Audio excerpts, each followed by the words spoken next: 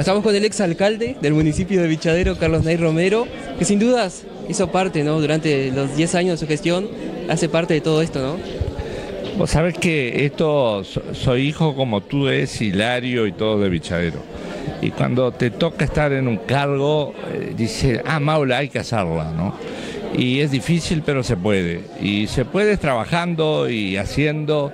Y hoy te digo que cuando se realiza esto, te dicen, realmente uno queda conforme que, Bichadero, vos sabés que, que la población ponga atención que fue este eh, hoy, cuando lo, el ministro dice que es un centro cultural nacional no es departamental, no estuvo en la capital departamental, se logró por un trabajo que tenía una estructura y todo eso, y esta hermosa gente nos vino a dar este precioso, eh, hoy, precioso evento con decir que es un centro nacional.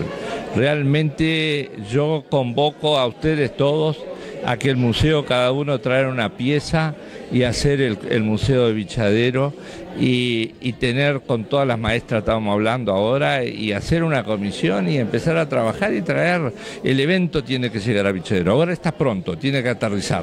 Hay que golpearle la puerta al ministro, hay que a golpearle a los directores. Aquí tienen a Barreto, que es un excelente director de San José, yo lo conozco de, las otras, de otras épocas, me gustaría que ustedes hicieran una, una entrevista que Barreto nos habló, un tipo sensacional y bichadero que lo aproveche que nosotros merecemos como todo el país.